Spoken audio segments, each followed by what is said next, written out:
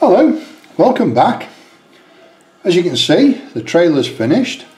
I've still got a little bit of weathering to do on it, but uh, I'm not too bothered about doing a video before I do that. Um, basically because I've got all the equipment out, so I might as well do it now. And it's been a bit of a challenge, as I say, with the, the whole kit's been a bit of a challenge. But that's that's why we do it, isn't it? You know, it's not just for the end product; it's it's getting there. That's uh, it's a journey as well, so they say. So what have I got done? Let's take it off there, because that'll drive me bonkers. And what I've got basically, you can see all the lights are working on it. I'll talk more about those in a second or two. As I mentioned on the on the last video about the trailer, moved one of the spare wheels and put it up on top of the the castle there, the um, the fifth uh, the fifth wheel pin, king pin if you wish, and the other one. There was a, according to the instructions, they both go underneath here, but I think if you do that, it doesn't look as as real as it does. If you as real as it is, if you look at all the trailers of these, uh, the pictures of these trailers and videos when they're in service, there's always one up there. I think I explained last time, but if you've ever driven one, you really don't want to be jacking massive trailers like this up to get a spare wheel out from underneath. Um, carry on with the top first. Most of it goes together really quite easily, um, as I've explained on, on the last video. I've decided I'm going to make the top of this wheel uh, arch a lot dirtier, so I've done one side but not the other. The videos I've seen of this in real life, there's not a lot of rust on them, there's not a lot of dirt on them either. They're grimy but not, not dirty if you know what I mean. So there's bits of rust underneath the, uh, the guides for the, the tracked vehicles to go on. That's why they have steel deck trailers because they have the guides in place. If it's a civilian trailer and it's uh, carrying tracked vehicles, are normally wooden decks on it so it doesn't slide as easily. Steel on steel, as I'm sure you're aware, slides all over the place. On the back, there are two long vehicle signs. I, I think I mentioned on the last video, in the instructions it implies that you would stick these ramps so that they're pointing upwards. But in real life that's not true. The, the long vehicle sign on a British road has to be sticking out the back, has to be clearly visible at the back. They've very carefully, very kindly etched long vehicle into the plastic. If they'd have done it just a little bit deeper, it'd have been absolutely fantastic. But it's not quite deep enough to write it on, to paint the thing yellow, as it should be, and then write, fill the, the, the trench with a long vehicle in, in black. So I'd sprayed it and it was green originally. So what I've done is I've sandpapered the, the green paint off and it's left long vehicle back on the back there. It's actually in green, but I don't think it matters that much. The two reflectors on the top are obviously red, they're, they're meant to be red, and you can see the lights all along the back. They need a bit more paint on them, that one does certainly, and I think this one does as well. So all the lights on the back, the, the guide posts on the, uh, for the tracked vehicles going up the side there, there were a couple of extra ones. I couldn't find out where you put them, so I put them at the front here. Seems like a logical place. You can pick those things up and move them around as you want, but there doesn't seem to be much storage for them. You'd have to plant them in somewhere. All this has got to be weathered yet, and I'm going to put some chains in there. I'm going to see if I can find some scale chains and put those in there. Make a, make a couple of dogs for the chains as well.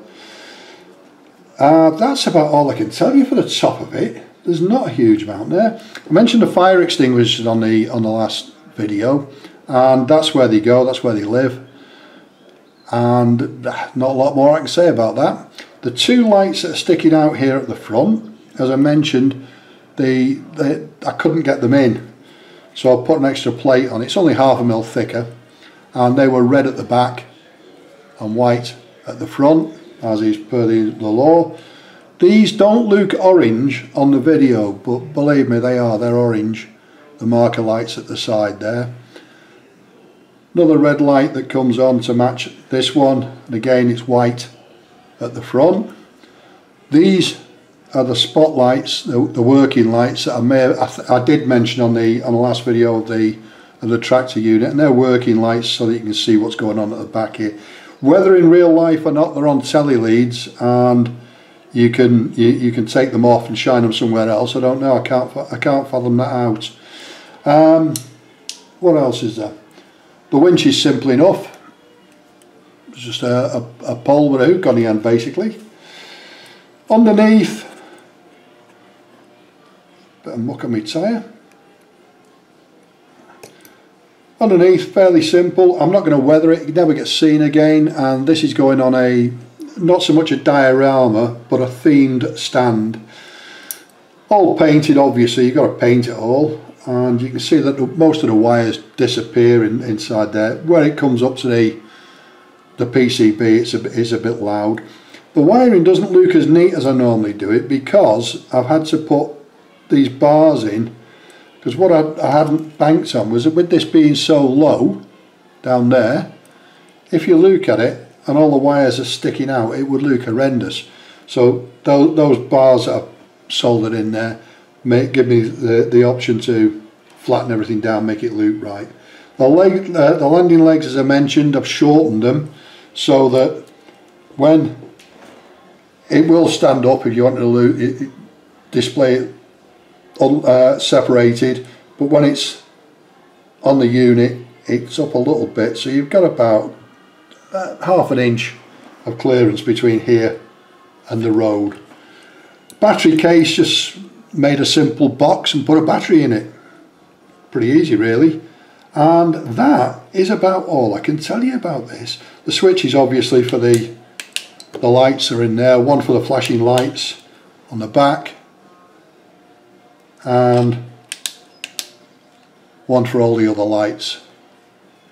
I know you wouldn't normally have the reversing lights on and all the rest of it, but it was complicated enough to do it as it was. Um, I think that looks really quite good. When it gets a bit more weathering on it, only at the top here, and uh, this bit here to match up with the other side, a bit more muck on it, because that's where it, it would accumulate on there with the checker plate on it and it, the, the muck accumulates in the checker plate. The rest of the trailer is smooth, checker plate at the top. The rest of it's smooth, which tends to stay a bit cleaner. So a bit more muck, if you like, muck and grime on there, and we're away. That is about it. There's nothing else to go on it. The next video I do on this will be when I've got the, as I say, it's not a diorama, it's a themed base. And what I'm hoping to do is a tarmac road and a grass verge, a battered tarmac road as though it's, it's starting to stick somewhere and see how I go. Never done it before. But then again, you always say you've never done it if you've never done it, wouldn't you? Any questions, any comments and any queries really, uh, it'd be great if you leave them in the boxes below. I will try and answer all that I can and it would be great if you could like and subscribe. Thanks very much for watching. Ta-da!